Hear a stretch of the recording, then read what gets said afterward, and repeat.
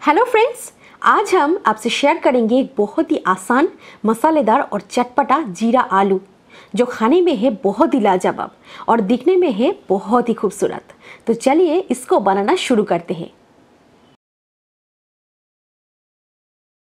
Subscribe कीजिए श्रीतमस kitchen को और बेल बटन में ज़रूर क्लिक कीजिए नए नए रेसिपीज़ सबसे पहले देखने के लिए। तो जीरा आलू बनाने के लिए हमें चाहिए बॉइल्ड आलू हमने 500 ग्राम आलू को बॉईल कर लिए हैं। अब हम इसको मीडियम साइज़ में राफली काट लेंगे। आलू को आप आपके मनपसंद साइज़ में काट सकते हैं। इसको काट के अब हम एक बाउल में रख देते हैं। और ये देखिए, सारे आलू को हमने मीडियम साइज़ में ऐसे काट लिए हैं। अब चलिए इसको बनाना शुरू करते हैं।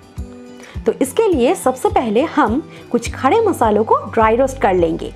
तो एक पैन में हम डालेंगे एक छोटा चम्मच जीरा, दो छोटा चम्मच धनिया, चार से पाँच छोटी इलायची, आधा दालचीनी का टुकड़ा, चार से पाँच लौंग और एक सूखे लाल मिर्च, जिसको हमने ऐसे तोड़ लिए हैं।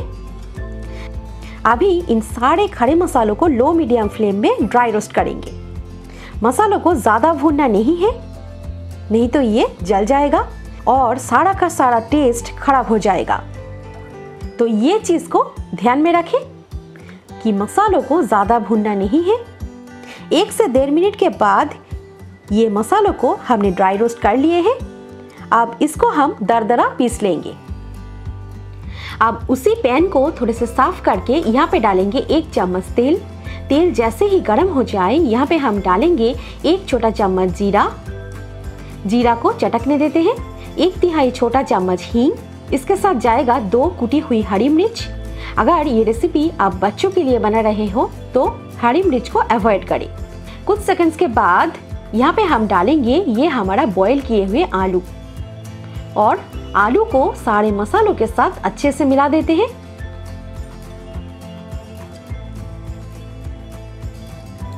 मिलाने के बाद अब हम यहाँ पे डालेंगे एक चम्मच हमारा स्पेशल ड्राई रोस्टेड मसाला जो है इस रेसिपी का सबसे खास इंग्रेडिएंट और इसको डालते ही आलू के साथ इसको अच्छे से मिलाना है। फिर यहाँ पे हम डालेंगे एक तिहाई छोटा चम्मच कश्मीरी लाल मिर्च पाउडर, इसके साथ एक तिहाई छोटा चम्मच काली मिर्च का पाउडर। स्वाद के अनुसार नमक डाल के अब हम इन सारे चीज़ों को आलू के साथ अच्छे से मिलाएँगे, ताकि मसाला आलू में अच्छे से कोट हो जाए और गैस के फ्लेम मीडियम रखें। आप चाहे तो यहाँ पे थोड़े से हल्दी पाउडर डाल सकते हैं। अब हम ये आलू को थोड़े से पकाएँगे।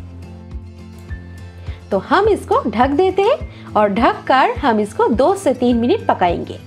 दो तीन मिनट के बाद हम ढक्कन को खोलते हैं और ये देखिए, सारे मसाला आलू में बहुत ही अच्छे से कोट हो गया है। और कितना बढ़िया दिख रहे हैं। अब हम यहाँ पे डालेंगे एक तिहाई छोटा चम्मच चाट मसाला। और इसके साथ एक बहुत ही खास इंग्रेडिएंट वो है आधा छोटा चम्मच नींबू का रस, ताकि ये स्पाइसी जीरा आलू बन जाए और भी चटपटा। और थोड़े से कटी हुई फ्रेश हरा धनिया के साथ इसको हम अच्छे से मिला देते हैं, गैस को ऑफ़ कर देते हैं, क्योंकि ये हमारा स्पाइसी और चटपटा जीरा आलू खाने के लिए बिल्कुल तैयार है। आप इसको किसके साथ खाना पसंद करेंगे, रोटी पराठा या फिर चावल? इसको आप जीरा राइस के साथ खाइए, बहुत ही बढ़िया लगेगी। अगर मेरी रेसिपी आपको पसंद आए आज ही सब्सक्राइब कर लीजिए मेरी चैनल को। तो इसके लिए मेरी वीडियो के नीचे लाल कलर के सब्सक्राइब लिखा हुआ एक बटन मिलेगा, उसको ज़रूर दबाना। इस रेसिपी अगर आपको पसंद आए, इस रेसिपी को ज़रूर लाइक कीजिए। तो मिलते हैं बहुत जल्द और एक नए रेसिपी के साथ। तो तब तक के लिए मेरी चैनल को देखते रहिए। Thank you